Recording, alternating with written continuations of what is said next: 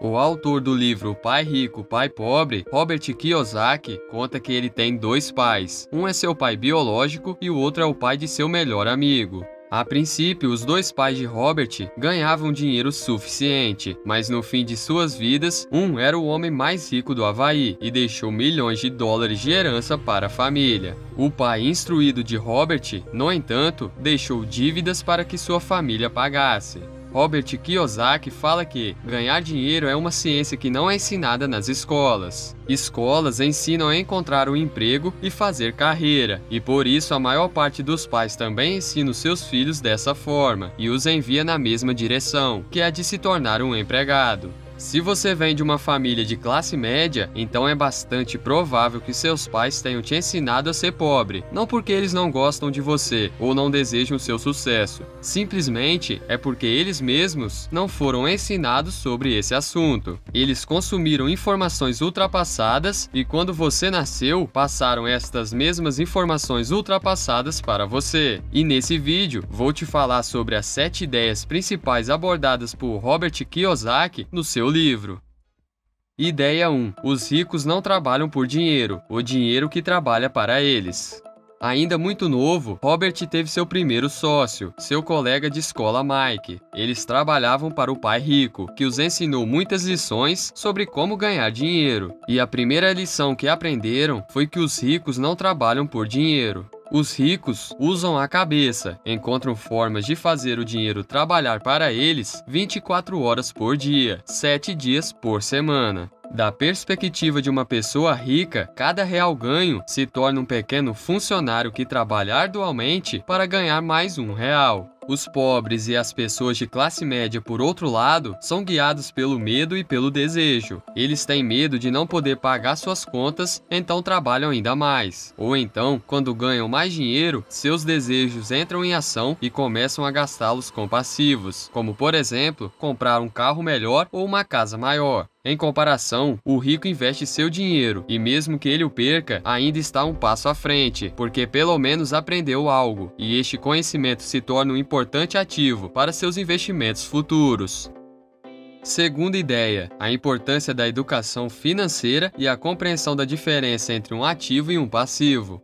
De forma simplificada, ativos são as coisas que trazem dinheiro para o seu bolso e passivos tiram dinheiro do seu bolso. Por exemplo, se você tem um carro e aluga para outras pessoas e ganha dinheiro com ele todos os meses, então seu carro é um ativo. Mas se você tem um carro para uso pessoal e precisa gastar todos os meses com consertos e manutenções, por exemplo, então ele é um passivo. O rico se concentra em aumentar seu ativo, enquanto o pobre compra o passivo passivo e se concentre em sua renda. Ter ativos é como plantar uma árvore. Você precisa cuidar dela por anos, até que ela tenha um tamanho suficiente para te dar sombra e frutos.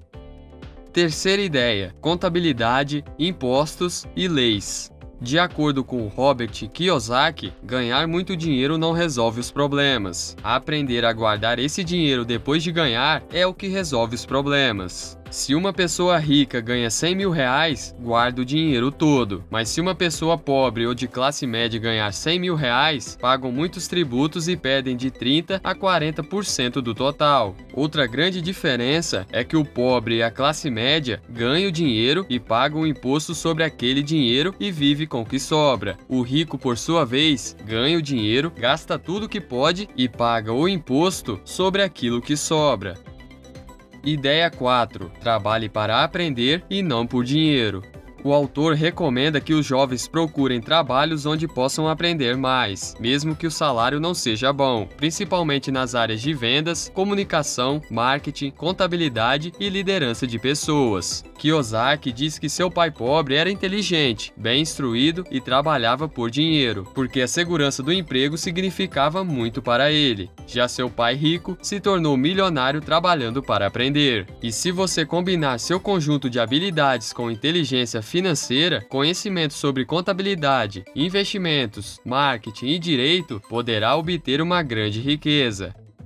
Quinta ideia: o rico cria o dinheiro. O autor diz que todas as pessoas nascem com talento, mas este talento é suprimido pela vida e pelo medo. Não são necessariamente as pessoas instruídas e inteligentes que prosperam, mas sim as ousadas e aventureiras. Algumas pessoas nunca evoluem financeiramente, mesmo que tenha muito dinheiro, porque deixam de aproveitar as oportunidades devido ao medo e à dúvida. A ideia de Robert é que as pessoas devem criar sua sorte, não ficar esperando por ela, e o mesmo com o dinheiro, ele deve ser criado. Ideia 6. As pessoas que evitam fracasso também evitam sucesso.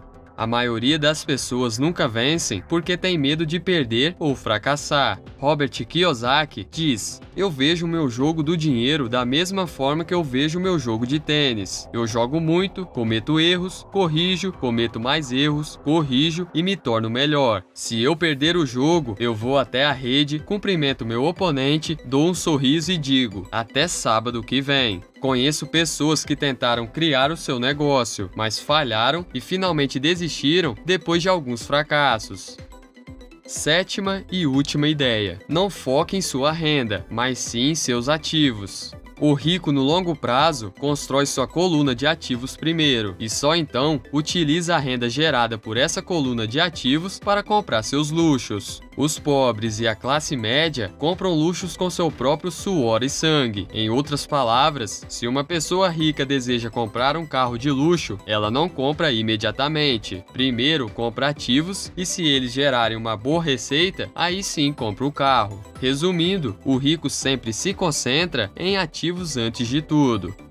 Esse é o tipo de livro que tem tanto conhecimento que fica impossível resumir todas as ideias dele, só em alguns minutos de vídeo. Então, no Insta Livros você pode conferir tudo isso em primeira mão. Ele reúne e extrai as melhores ideias presentes nos principais livros do mundo e te passa tudo isso de uma forma direta e muito bem resumida, tanto no formato escrito quanto em áudio. E sabe aquela ideia de ler um livro por dia? Agora isso é possível, e é exatamente isso que eu faço. Hoje, o aplicativo já conta com uma biblioteca de mais de 800 livros, sobre todos os assuntos. E para você ter acesso ao Instalivros Premium, é só clicar no primeiro link na descrição ou no comentário fixado, e você vai ganhar um desconto exclusivo de 30%. Confere lá! Por esse vídeo é isso, um grande abraço e até a próxima!